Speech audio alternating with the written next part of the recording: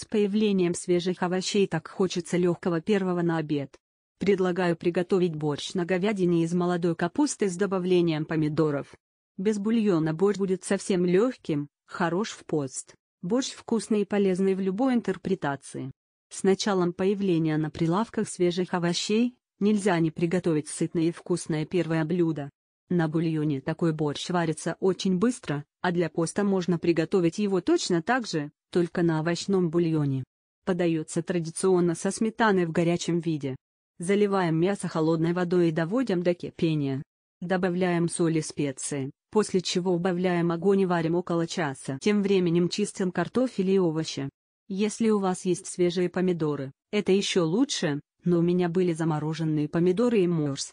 Я решила использовать их. Обжариваем нарезанный лук и морковь, отправляем на сковороду с растительным маслом. Добавляем томаты и жарим еще некоторое время. В самом конце жарки добавьте немного томатной пасты или домашнего морса. Обжарьте еще пару минут и выключайте огонь. Нарежьте картофель, отправьте его в суп, когда мясо будет готово. Пока закипает картофель, нашинкуйте капусту.